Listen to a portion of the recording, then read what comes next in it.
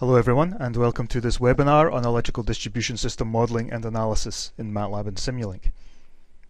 My name is Graham Dudgeon, I am an industry manager at MathWorks. There are four motivators for this webinar today. The first is connecting measured data to simulation. With the provision of highly accurate measured data, how can we benefit from that data in a simulation context? We benefit from it by connecting that data to simulation. The second is applying optimization to simulation.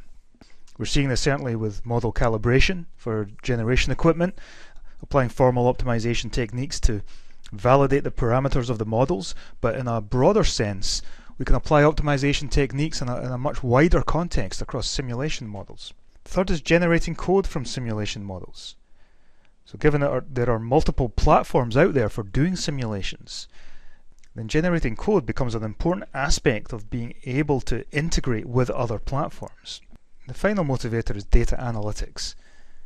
How can we apply more sophisticated analytics to the outcome of simulation studies? For example, Monte Carlo studies, running simulations tens of thousands, hundreds of thousands of times, and then doing a statistical analysis to, to gain a statistical significance on the outcome of that study, rather than just doing a, a few point cases. Within the context of the four motivators that we have, there are seven specific areas that we're going to be looking at today. I'll, I'll just read the list here and give you some additional insight into this. We'll be looking at creating models into SimPower systems automatically. We do this by using MATLAB and writing MATLAB scripts that can automate that process. We will look at unbalanced load flow, so steady state computation. So within a time domain simulation framework, which is Simulink, how do we construct our network so that we can move from operating point to operating point and capture those steady state conditions, i.e. capture the load flow conditions. We'll also look at how we can generate code from SimPower Systems models using Simulink Coder. We will go back into MATLAB and look at the publish feature which we can use to automate the generation of reports which can contain engineering information and certainly for complex engineering studies the automated report generation is a, is a key value add. We'll then look at Monte Carlo studies running simulations tens of thousands or hundreds of thousands of times and how you can look at assessing the risk associated with those studies by applying statistical techniques and looking for statistical significance of the outcome of simulation studies. We'll also quickly look at integrating EMT components into, into phasor models and finally looking at optimization and bringing optimization techniques in with a, a simple example of looking at Uh, smart management. So demand response of plug-in electric vehicles is the simple example we'll be looking at and how we can bring that optimization framework into the simulation context. We're going to be using the IEEE 123 node test feeder as the benchmark model which we will use to show the tasks in this webinar. I would like to acknowledge the original citation by Bill Kersting on the test feeder. You can see the details there and the URL at the bottom is a location where you can find further information on the details of this test feeder. This is just a screen capture of the network. We'll, we'll see that later on, but for those of you familiar with this network, you will recognize the structure. The first challenge is to create models automatically in SimPower systems. There are three main reasons why you would want to go down this approach. The first is developing a large model manually is time consuming and requires considerable effort to verify the correctness of topology, components and parameters. There will be many of you out there who have attempted to put together large models and have been successful. If you're doing this manually, then I am sure that you will agree with this first point.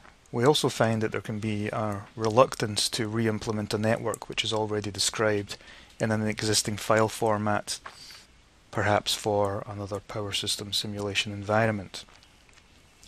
We do recognize that there are a number of different power system simulation tools out there and certainly being able to read file formats either from Excel files or, or from specific formats is a value add. And the final reason once you have a larger scale model implemented in SimPower systems, then the reason that you may want to use the SimPower systems environment is that there may be a need to perform a study that is difficult to achieve or not possible to achieve in other software. So some examples of the added value of coming into the SimPower Systems environment. You may want to apply optimization techniques to your simulation. It may be parameter estimation, for example. You may want to have an environment where you can feed in measured data directly to drive a simulation with measured data. For example, you may have solar data or wind data measured from the field, which you may want to bring in and see the impact on how that's affecting the network response. Up at the transmission level, you may want to do this with synchrophasor measurements, for example. And another type of study you may want to conduct is Monte Carlo type studies.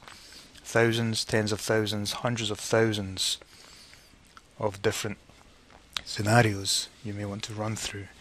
And this Simulinks SimPower Systems environment is a convenient way of being able to specify a very large number of scenarios that you want to run through. The way in which we create a model automatically in SimPower Systems is to write a MATLAB script that can interpret a network description and automate the creation of the network. This can be done because Simulink components are objects that can be manipulated programmatically from MATLAB. I'll show you some code snippets as we go through this webinar. I won't dwell too much on the code, but I will show you some examples of how it's done. You'll see functions such as add block and add line, which are used to create the topology of the network. And there are also functions that manipulate object properties and parameters you'll see get param, set param, get and set. So they're all used within the scripts that do this automatic construction of the network. We will be running a specific type of simulation. I've called it pseudo steady state simulation for want of a better term. Perhaps quasi steady state simulation would be a better way of describing it. The reason that we want to do this is it's an approach to perform unbalanced load flow computations within the framework of a time domain simulation. Simulink, SimPower Systems, is a time domain environment, and so using this approach, it's a natural approach to bring out typical load flow values. Also, because we're in a time domain environment, it does allow efficient configuration and execution of Monte Carlo studies. The way that we do this is we simulate the network in phasor mode, and components that are connecting to the network, such as loads and the transformers, tap changing transformers, they're designed to have very high bandwidth, so they can move from one operating condition to the next very rapidly. Now with this approach, the transient response is ignored. The transient response has no physical significance in a simulation such as this. We could think of it, it's, it's analogous, it's not a perfect analogy, but it's analogous to the convergence iterations of a traditional load flow algorithm. The steady state response is equivalent to load flow, and this technique is inherently multi-phase, so we can bring this to multi-phase systems. It's ideal for unbalanced load flow on distribution system networks. I have a screenshot here of a typical run. There's nothing profound about this, but what this shows you is a, a movement from operating condition to operating condition Blue is the, the simulation as it's running. We can see transient regions as it's moving from one to the next. We are ignoring those and we're picking off the steady state conditions, which are the red dots. Let's go to MATLAB. I'll go to the create model directory.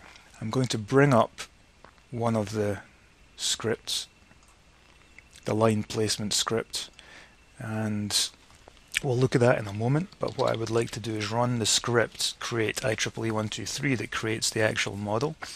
I've put tic toc around it, and we'll just let that run. Now what you're seeing here are the buses being placed. So they're being placed in locations which are equivalent to the locations on the IEEE123 node test feeder diagram. I basically picked off the XY coordinates from that diagram and used them here. We now see it's moved on to the line placement. I'm not sure about the rendering on your screen, but you may be able to see the multi-phase, three-phase, two-phase and single-phase connections in this. The dark blue components are line components which have tap changers connected to them. And so this is just running through the lines. When it's done with the lines, it will place the breakers, which are red, and then it will place the loads, which are yellow. And once it's done that, it will put in some data saving components under the hood on the on the buses and on the lines. So we're measuring voltage at the buses currents in the lines. We're using To File blocks here for this. Now the reason I use To File is because we've got a lot of data scopes. Were not really relevant here. You could use scopes one or two scopes placed to to view how the how the simulations are running. But I found that scopes were not useful in this case. To File blocks are very useful because they will also save data incrementally to the files, which is beneficial for longer duration simulations. So if you're running these pseudo steady state simulations for a long period of time, capturing tens of thousands, hundreds of thousands of operating conditions, then certainly saving the data to file is a very effective way of doing this. So the model is complete. It's saved as a new name. And let me just show you some of the snippets of code that do this construction. So with the line placement, we're looking to see if there is a tap changer connected to a specific line. If so, we can bring in here, we see add block. I'm saying if there is a onload tap changer flag set, bring in a specific block which has the tap changer connected. Otherwise, bring in the normal line block. We'll take a look at that library in just a second. So I'm using handles here to get the handles of the buses that the lines connect to, get their position. I add the line in the midpoint of the position. Set line is another function called to bring out the configuration data populate the lines with the data from the, the text files in the benchmark. I'm just going further down here so we can see the, the add line. So here's the add line which is connecting the buses to the line components. The pause incidentally was so you could see this network build visually. If you're doing this in a engineering task, I would recommend removing the pause and building the networks in memory because it is quicker doing it in memory. Visual rendering is fine for this webinar, but there is an overhead associated with it. I would build these models in memory, particularly if the models are, are larger than this one. What I'd like to do is, before we look at some results, is actually go back to the benchmark data and show you an example of one of the Excel files. So we take, take a look at spot loads and open as text. You can see you know the format of this data node number what type of model it is either star or delta whether it's PQ, I or Z so constant PQ, constant I, constant Z and what the values are. So this is all being loaded up automatically. And I'll show you an example. We'll go back to the create model directory so we can look at one of the libraries. So delta constant PQ, we can take a look at that. You can see three phase, three phase, two phase because it's a delta connection so we'll, we need to bring out the other phases. So single phase will be connecting across two phases so this is why we have this configuration but let's look under the hood. Constant PQ here being fed by data which is being automatically populated and fed in at a specific timing sample so we can do Monte Carlo studies. Constant PQ blocks connected in delta. If I go to the two phase you'll see it's two phase but the three phases are brought out for appropriate connection if there are any components in the network that are classed as two phase delta and single phase just what you would expect. So we've ran the simulation. Now I can go to compare results. But before we run that. Let's go back to the PowerPoint slide, which takes us to our next challenge, which is automating reports. The reason that you may want to do this is preparing a report of a complex study and or preparing regular reports can consume considerable overhead. So you can start seeing the theme here. We're looking at how MathWorks tools can help reduce the time you take to perform studies, to initiate a study, perform a study, and report on a study. The way that we're going to use report generation is there is a feature in MATLAB called Publish. We're going to be taking a look at that. And I'm going to open the compare benchmark file. Now you can see here I've used the double percent signs, which is section mode, but they will also come out as headers within or titles, section titles in a in a report. I have certain lines of code which I'm running to do the comparisons. Now if I go to the Publish tab and look at the publishing options, I'm going to publish to HTML in this particular case. Options you have, XML, LaTeX, Doc, PowerPoint and PDF as well. There are also other settings. You see here for code settings include code true or false. I'm going to set that to false because I don't want the lines of code coming up in the report. If I then just press publish, it's going to take the results from SimPower Systems. It's going to take the results from the benchmark and it's going to generate a report for me to do a comparison, which we'll take a look at. I'll just take a moment to do this. So this is a very efficient way to get a report out and particularly if you're per performing studies that are consistent in reporting format, then this is a very powerful technique to save considerable time on the reporting. So here's HTML. We can see it's hyperlinked to the sections. With PDF you'll also see um, section links as well. So I've just put a figure in here about how I calculated the relative error between the benchmark result and the SimPower Systems result. Uh, for bus voltage relative error, we see that all buses on all voltages on all phases are below 0.1% relative error. If we look at the statistics of this, we have a box plot for each phase. We can see the mean error is well below 0.07% in all cases.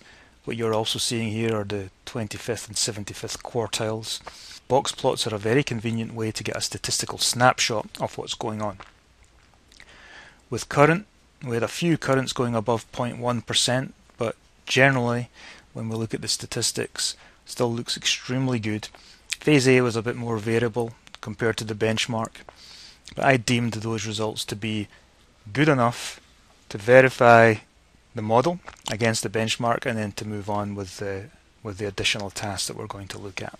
We'll see another published report later on, but this is just you know a quick, short report generation, which is very effective and saves a lot of time in the reporting.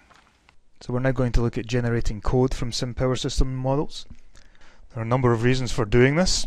First, it facilitates the, the transfer of the, the Simulink Power Systems model into other simulation environments. So in itself, it, it doesn't enable it, but it's the first step. Get the code, and then you, you can look at connecting to other platforms, whether it be through DLL connectivity or other means. You can protect intellectual property, give you better configuration control by locking down the model, and it can also allow more rapid execution of multiple simulations. So let's take a look at how we do this. We need to be sure that we separate the input values and the output values from the model. So in this particular, I'm going to show you more of that, but we have a block here for the inputs, and that could be the PQ inputs or any other inputs that are varying as time progresses. You want to separate those, have them in a, in a separate subsystem.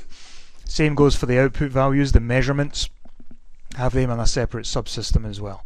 So we're going to run the function that builds this, and what's going to happen is it's going to build the model underneath this subsystem, IEEE123, is going to put all the input values into the input values subsection and then the outputs into the output values. So let me just run this. And we'll see this in action. So it's now started to build. It's not a great deal you can see here at the moment, but if I double click on the IEEE 123 block and then click the space bar, then we can see it building underneath that subsystem. And as it's doing this, then when it's completed the electrical system, it will then populate input values and output values. So this will take a, a moment or two to, to run. The reason we have to separate the input values and the output values is they, these are the values that are going to change as we run through different scenarios. So the electrical model in itself is a self-contained unit. What we're changing is the PQ values that are being fed into this model and obviously the output values are changing as well. And so they have to be separated because ultimately we're going to make the IEEE 123 model uh, an S function in this particular case. It's now saving now. You can see there the name's changing to IEEE 123 complete S function. Another few seconds and that will be done. Okay, that's the, the model built. If we look under input values, you can see here there's a number of input blocks if we go underneath and you can see it's feeding in the values and then using from and go to blocks in order to get access to the simulation model which is in another subsystem. Look at this, it's fully populated now. And then the output values, double click, then we've got measurements going to two file blocks. So now that we have that, we could run it as, as is, and it would run exactly the same as the, the model that we've seen before. But the process we go through in order to build an S function is we take the power GUI, which is currently in the top level, we move it in. I'm just cutting and pasting the power GUI into the subsystem here. So now it's in there. If I come back out, it's now transferred across to that subsystem. And then I can right click, choose C, C++ code, and then generate S function. I'm not going to run it here in the interest of time. It does take a few minutes, but what would happen is Simulink will go away and it will build the S function and then you will arrive at a block a subsystem which is exactly the same except it will have C code underneath it. So just bring this down and show you one I prepared earlier. So this is it here. If I double click on it, it says Simulink Coder generated S function, so Simulink Coder is required for this. If I look underneath the mask, the green is the C code is contained underneath there. We, we can't access that C code directly. You have inputs which are all go to and from blocks to access the input output information of the model. So I can run this now.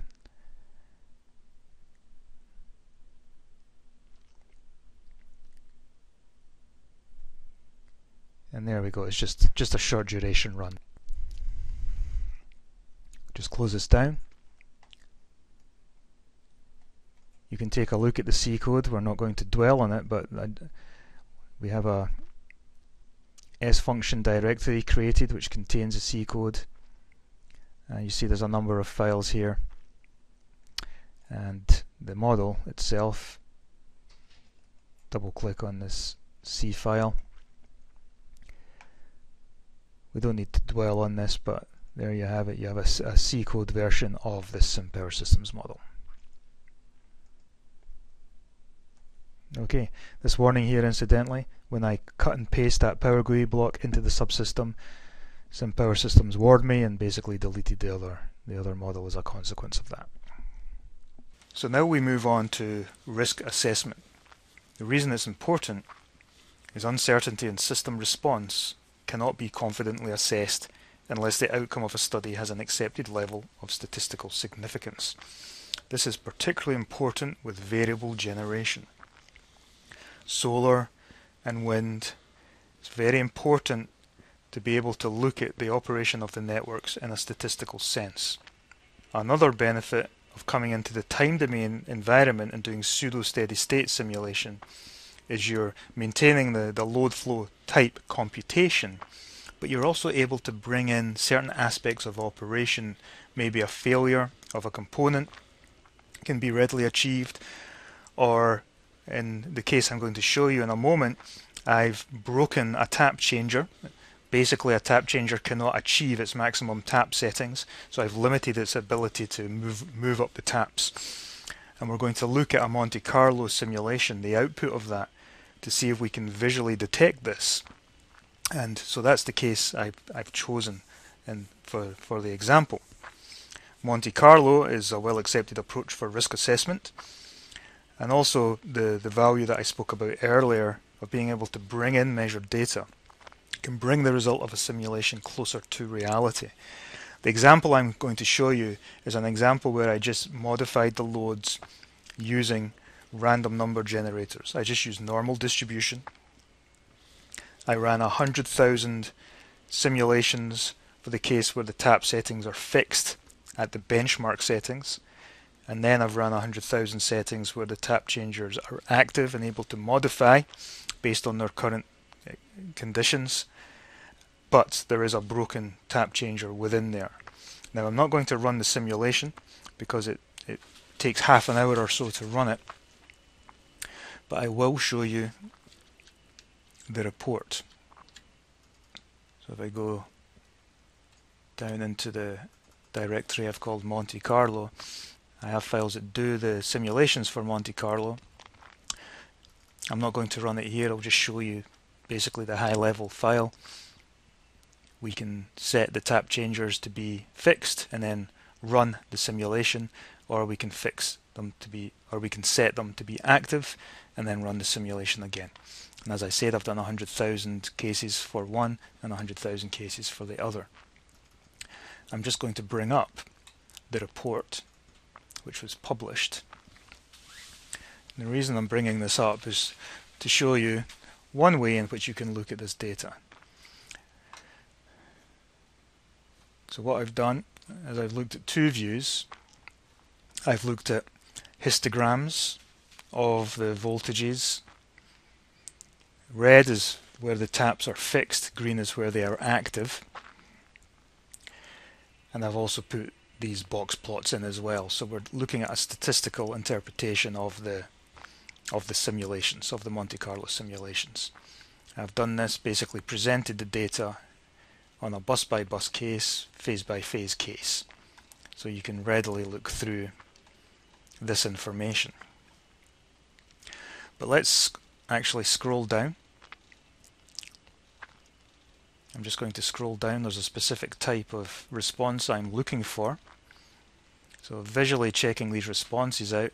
There are some intriguing which you may want to look at a little bit more. Certainly being able to scan these responses does give you that visual interpretation and allows you to very quickly discover profiles which may require you to look a little bit further at what's going on. I'm going to keep scrolling. My apologies for the speed at which I'm doing this. I'm trying to get to a specific response. So you can see it here that if you were to do this manually as well, put this report together, it would be quite cumbersome. So quite complex reporting can be done, or reporting that requires lots of information can be done quite readily with the pub publish feature.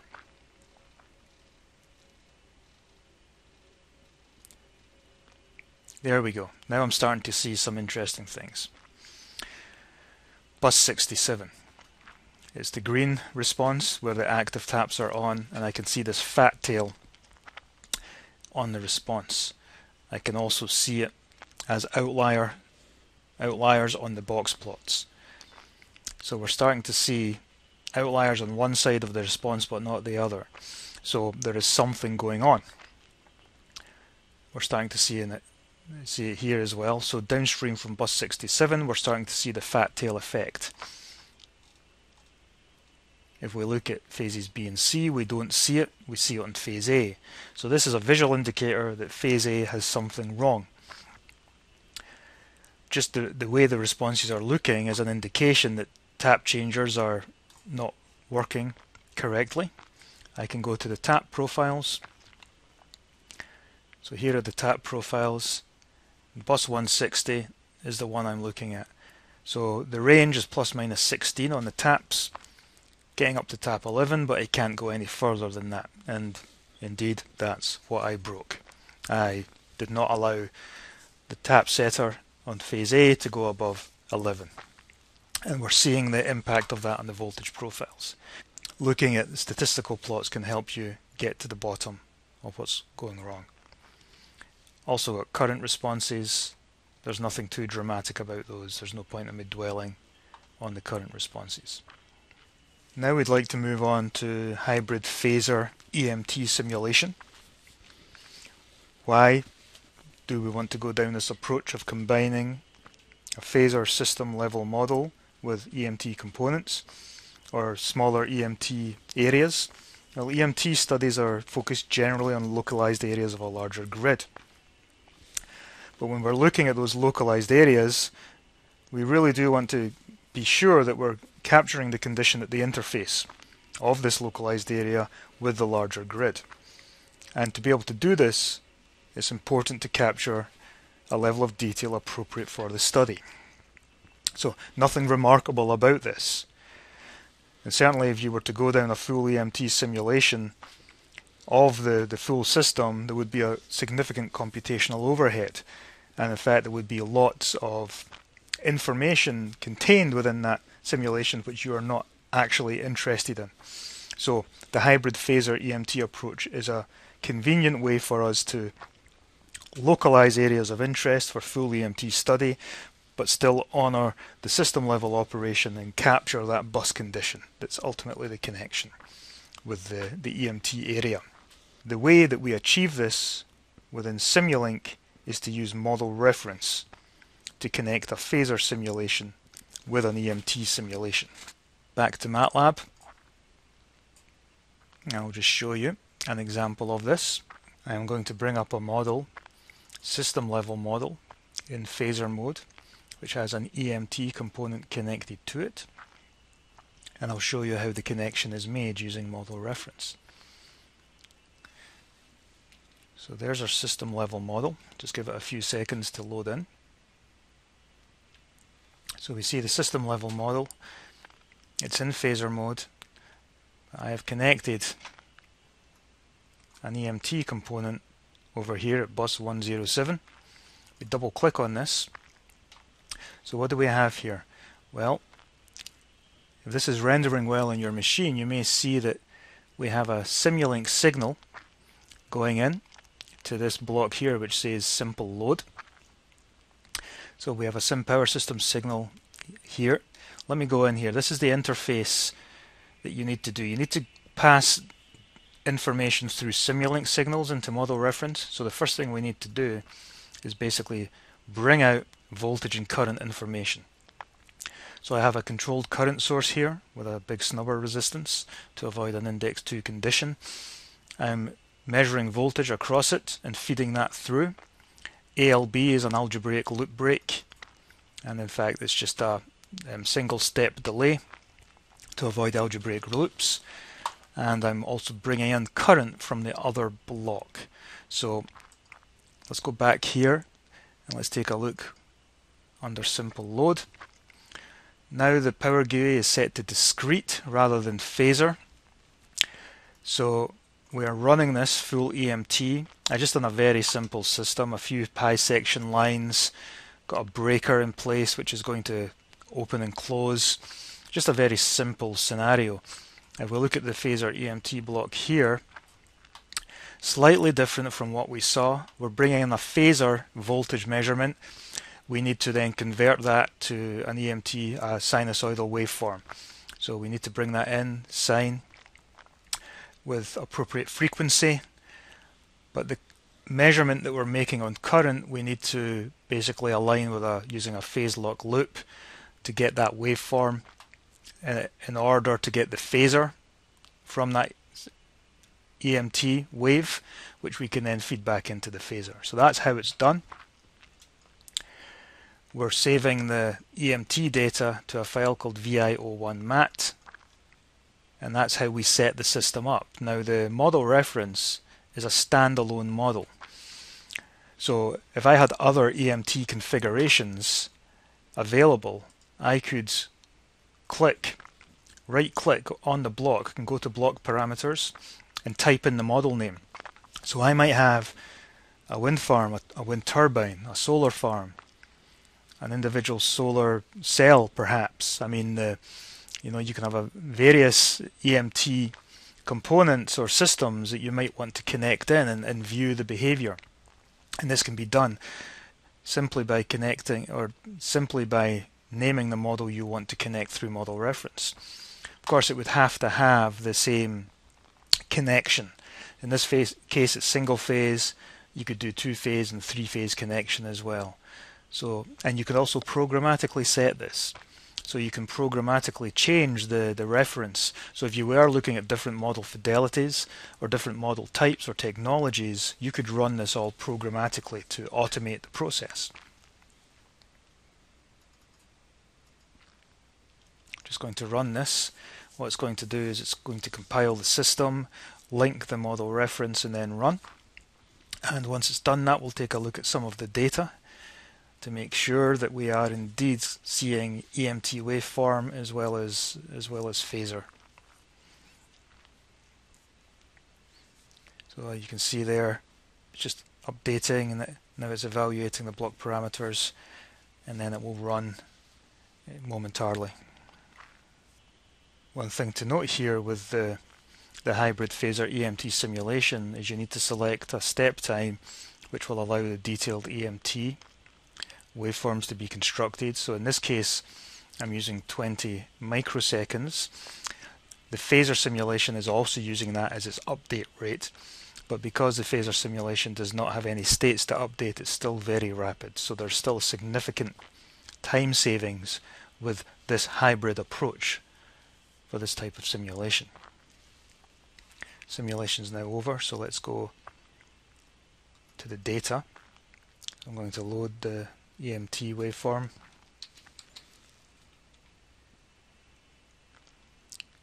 So we'll look at voltage and there we see the, the EMT response.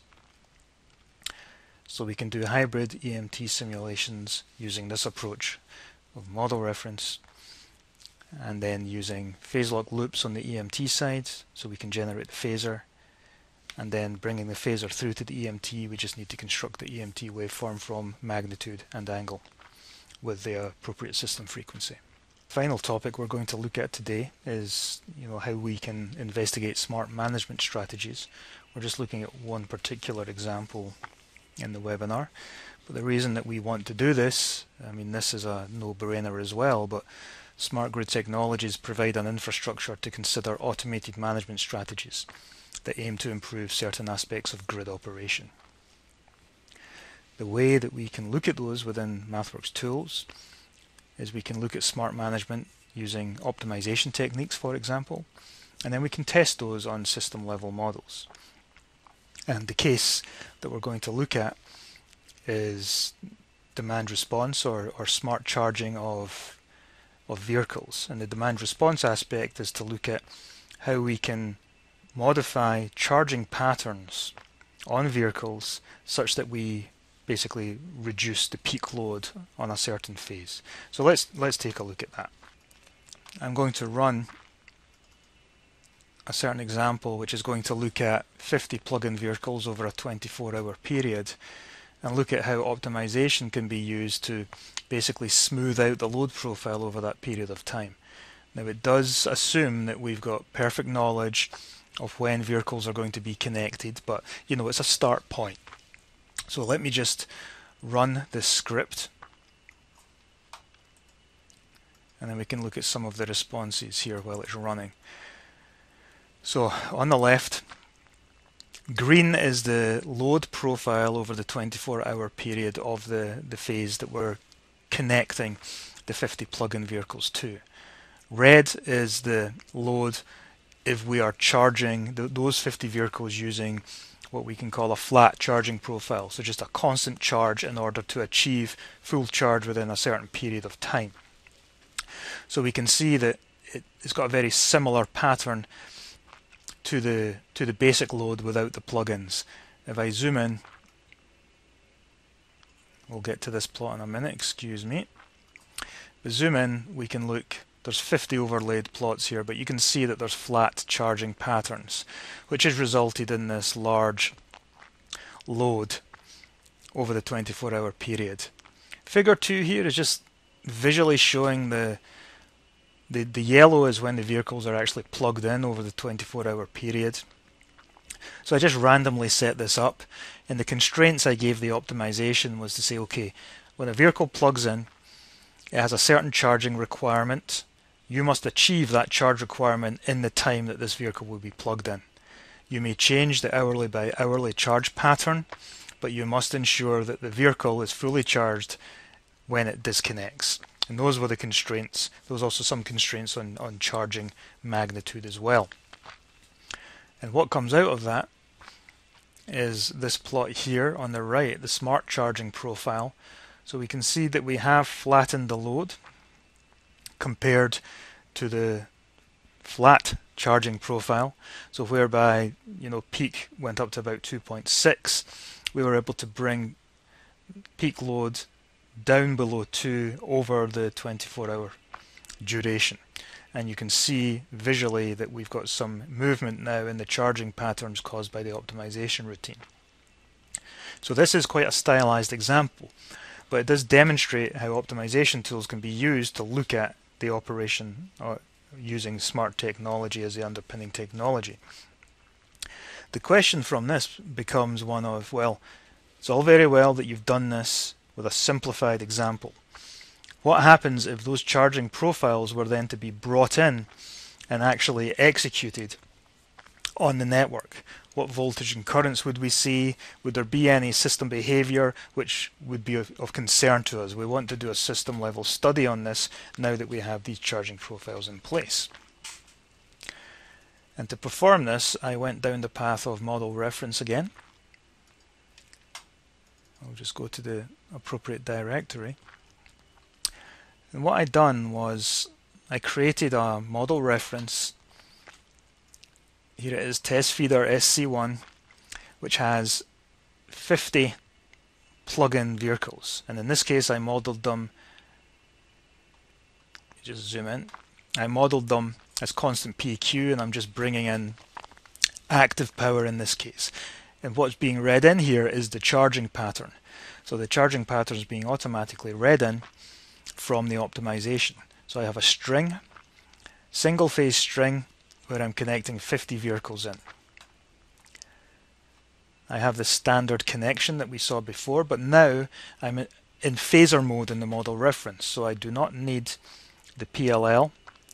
I can just pass through phasor information. It simplifies the connectivity.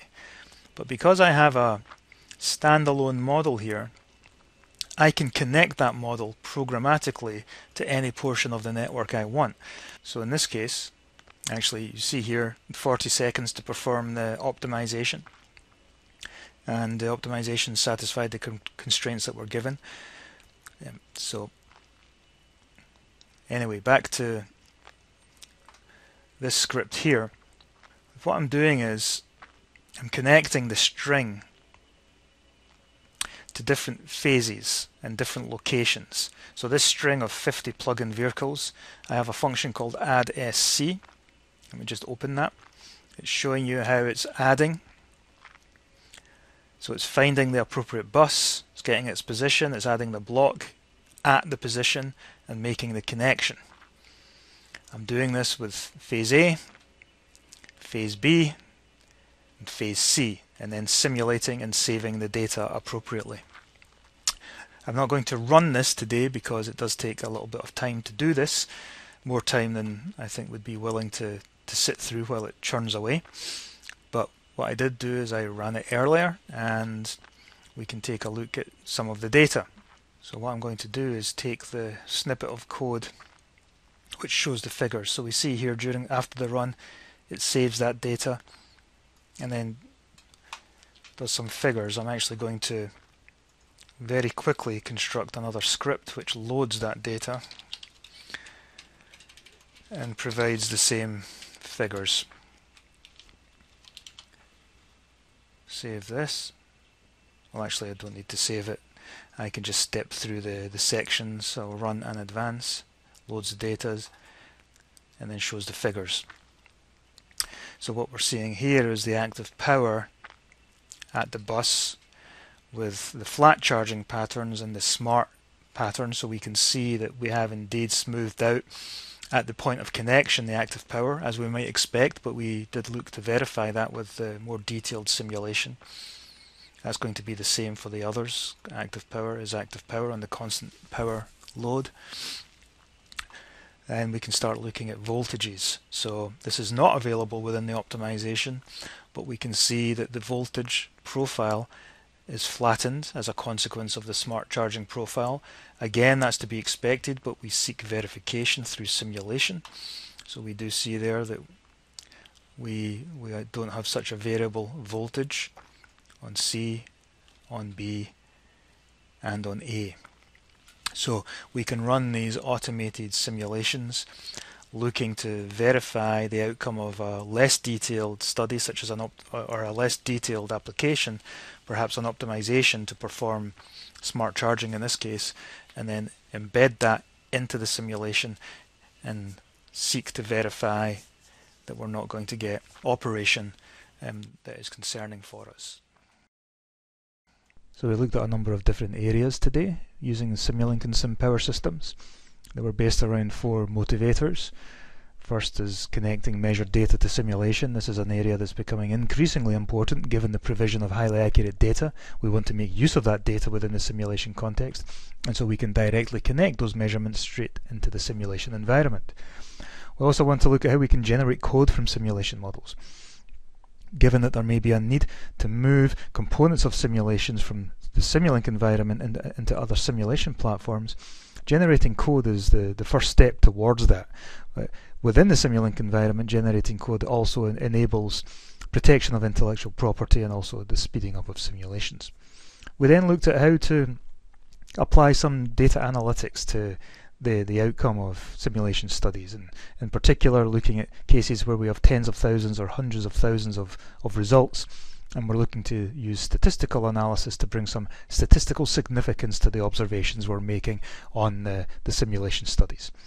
And we also looked at optimization with simulation, optimization is becoming increasingly important in a number of different areas, whether it be calibrating generation equipment models, whether it be optimal sizing and placement of devices, or whether it be optimized operational profiles and how that fits into the simulation. There are a number of different ways in which optimization can be applied. We looked at one specific example today.